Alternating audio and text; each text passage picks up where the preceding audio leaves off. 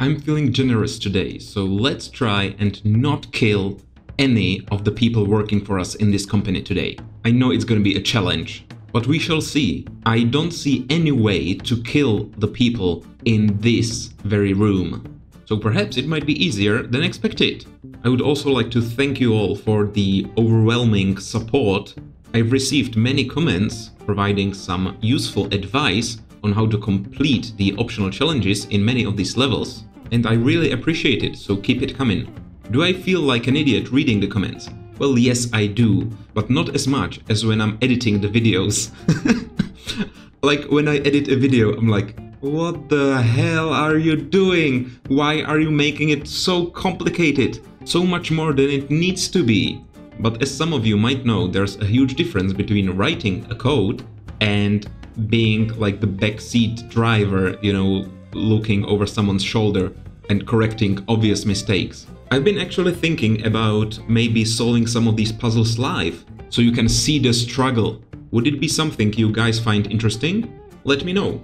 Now finally, let's dive into this level. All their data got wiped again. For real this time, yeah sure. I don't think they have any backups in this company. There are 100 cubes and we just need to write numbers from 0 to 99 somewhere. Anywhere. I would like to establish a baseline. Let's see how long it takes for a single person to do this. So let's say if above you there isn't a wall, so that's only this person, I mean that's not this person, that's everyone else, and your program. So only this person is gonna be doing stuff. Now let's do a grid search and simply, you know, write the numbers. So first start at 1, so set uh, 0, I mean, to memory 1, and keep walking left. So let's say if you are standing on a data cube, uh, that's stupid, isn't it? It is the same issue as last time, I just am not able to, you know, write a grid search this year. I believe I was capable of doing it last year, Alright, I think I've got it. So, first off, start walking left. So, step left, pick up the cube, write what you have in memory 1, increment memory 1, drop the cube. Then you repeat this until you reach a wall. So once you reach a wall on the left side, you jump away from this loop and you jump to this other loop right here. As you are on the left side, you just step down and then you are on a data cube, you also need to write stuff on. So pick up, write, calculate and drop. Basically these bits of code are the same, which I actually hate. And then step right. Repeat this forever. That means put a bloody jump there, like that. And when should you stop doing this loop? Well, once you're standing on these spots on the right, where there no longer is a data cube. So then you jump all the way back up here and take a step left. But you should also step down as well. So let's put it here, step down, there. Alright, this is gonna work. First try, let's see. Writing 0, incrementing, dropping. This is gonna take a long time. I just want to see what happens at the end. Yeah, yeah, seems flawless. And what about this side? Awesome. That works. So cut, and action.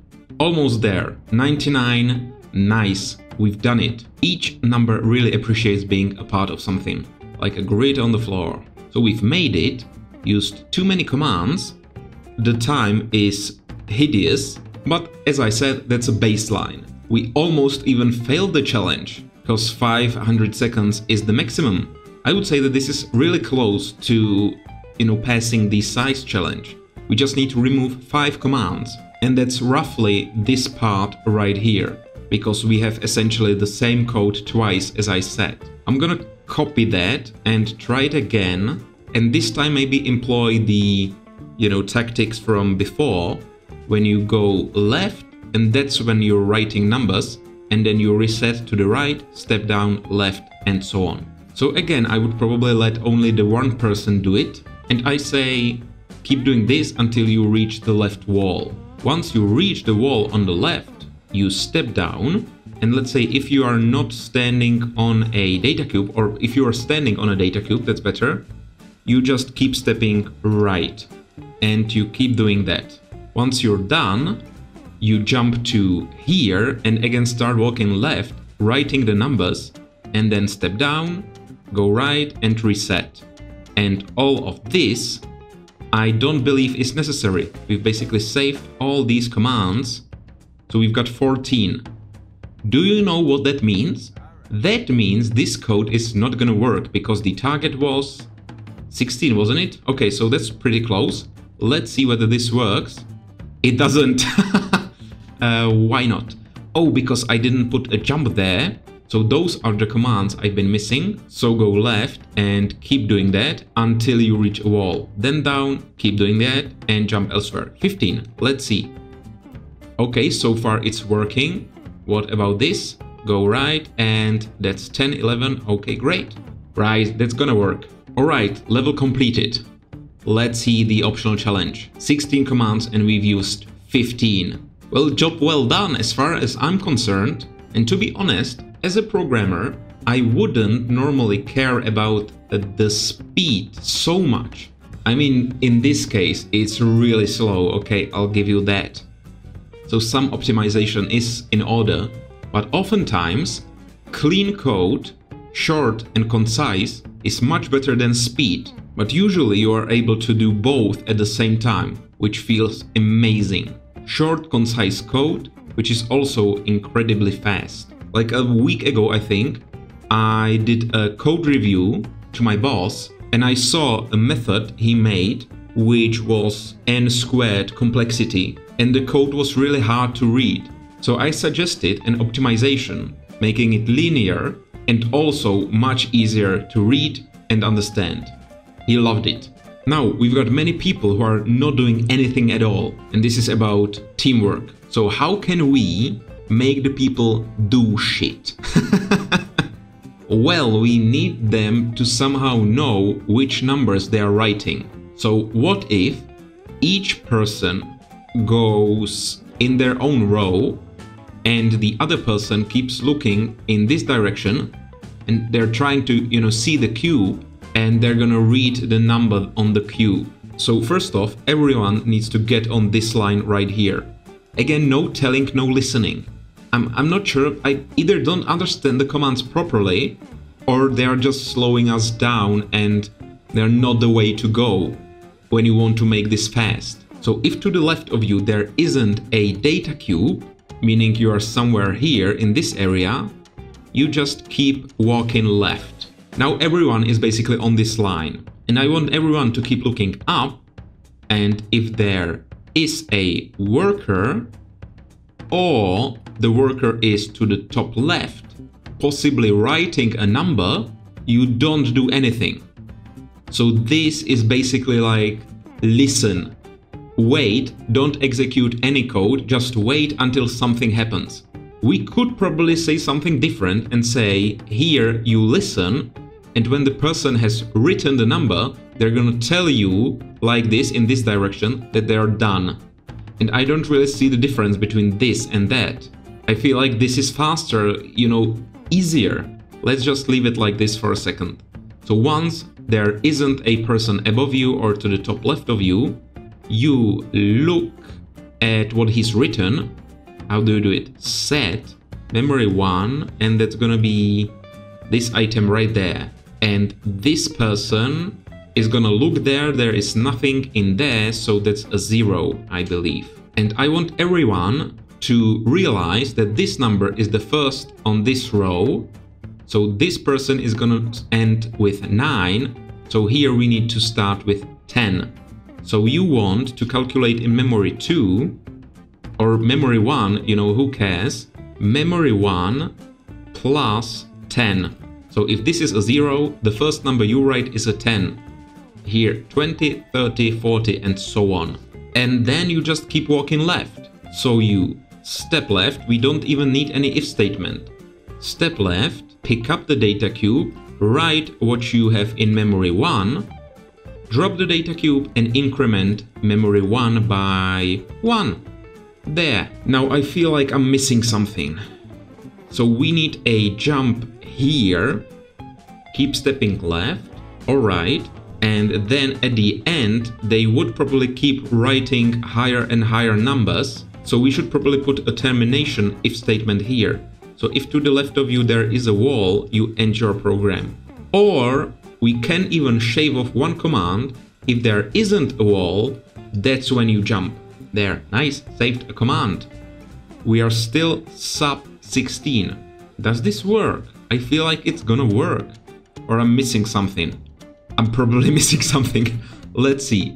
So this person is already here because there's no one above him. Great. Oh, I see. I messed up already. Well, never mind. Let's just keep this going. And he's gonna calculate 10. Oh, hang on. He, he wasn't supposed to calculate 10. He's the only guy that wasn't supposed to do that. Alright, so a couple of issues.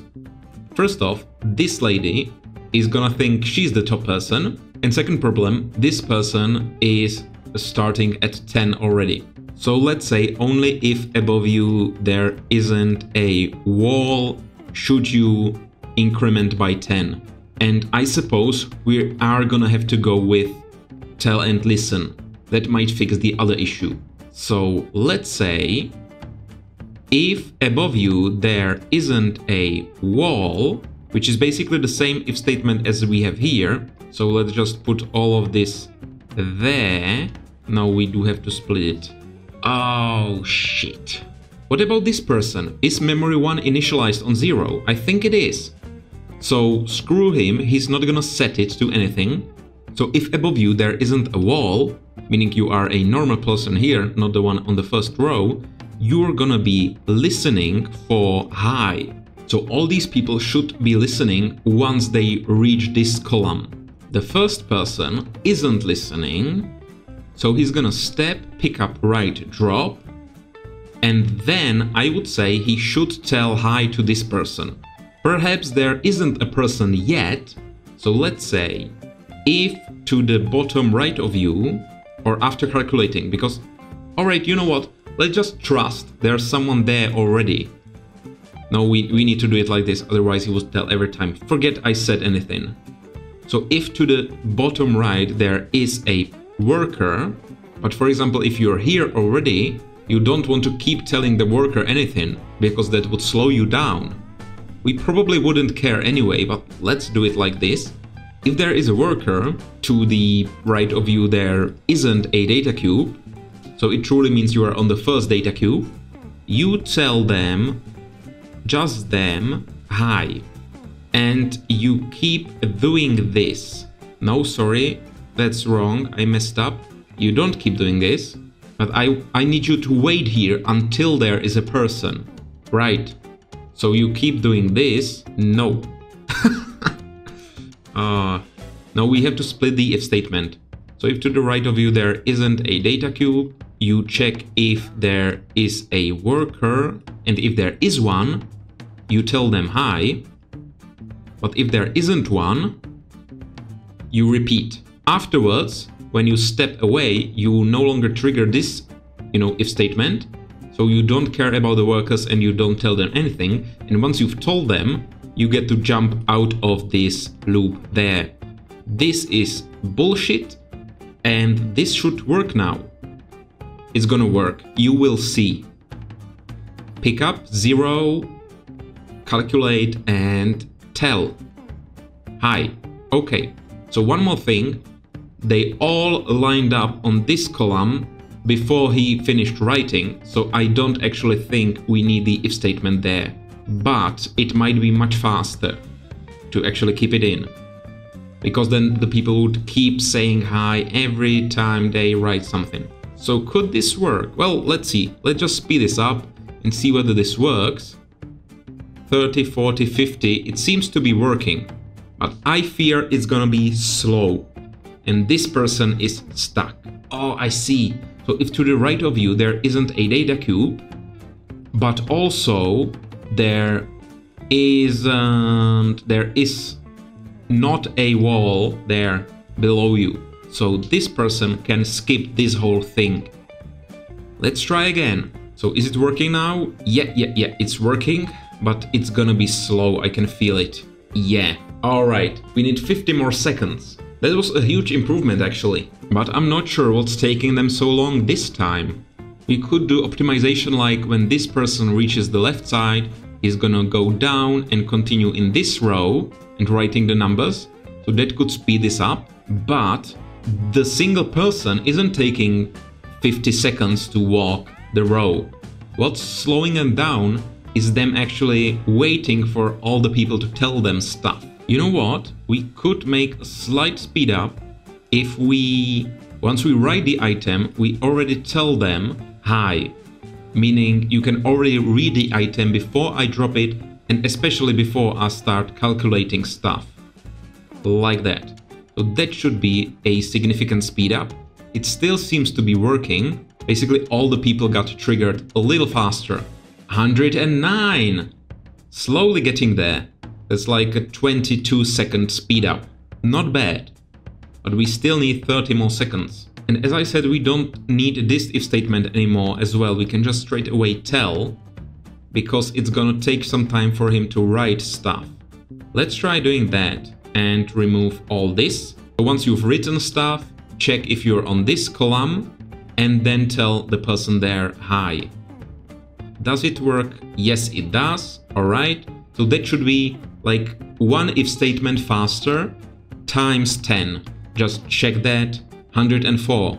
That's much faster than expected. And we've got 16 commands even! so the optional size challenge still completed. I feel like we're supposed to be adding more commands to make it faster in some way. Here we might not even need this set. We just want them to calculate what's top left plus 10 we don't need to set it first. However, setting does not take any time, does it? Uh, well, let's see. I've run it again. Yeah, yeah, yeah, still 104, so no change there. Just made the code a little shorter. 15 commands. Damn, that's great. So stepping left, that's for sure. Then everyone is listening, and that's taking quite a long time. But you can't calculate what row you are on until someone has finished writing. So you should be listening. And if you're not, you step, pick up, write, and that's when the person can already see what you're doing.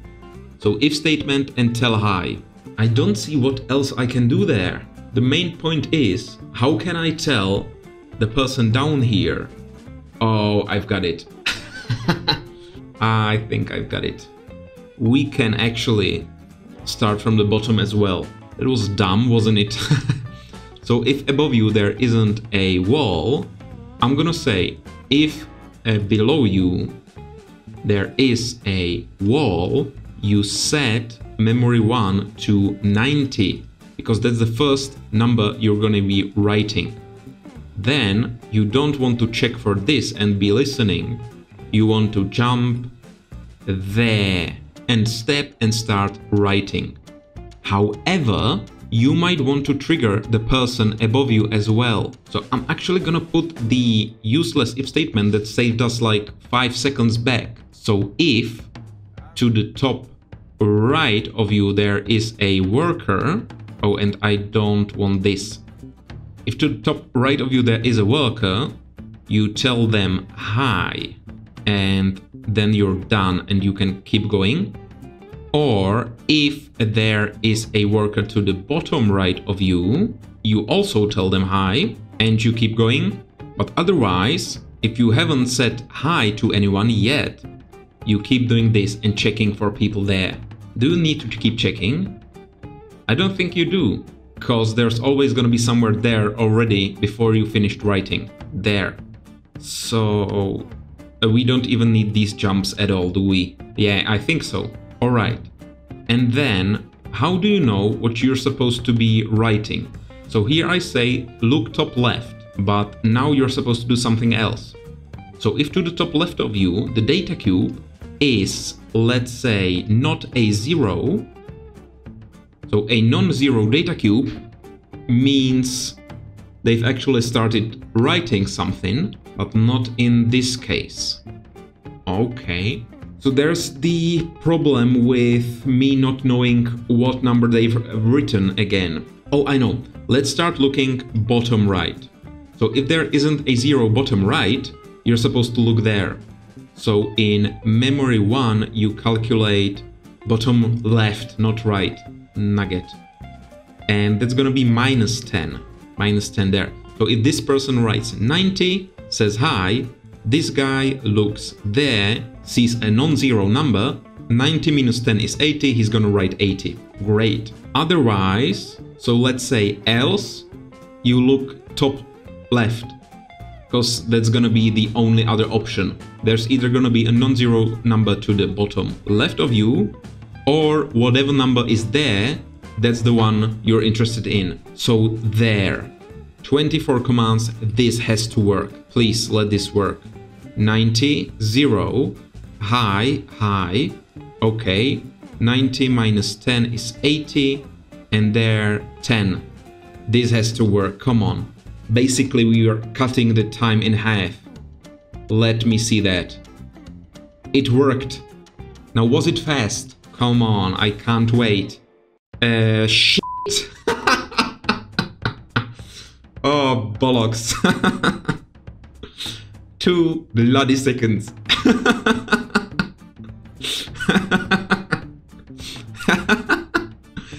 oh, man. Okay, here we don't need this if statement. We can just say else, I think. That's gotta be faster, come on. oh, wow. I, I can't believe it. Also, I'm happy it just works, you know, and is fast. Yes! yes! Oh. Well, there it is. Took me 35 minutes and I don't believe I'm gonna be cutting much of the video. Well, you'll see actually, however long the video is gonna be. So do tell me, live coding struggle. Interested?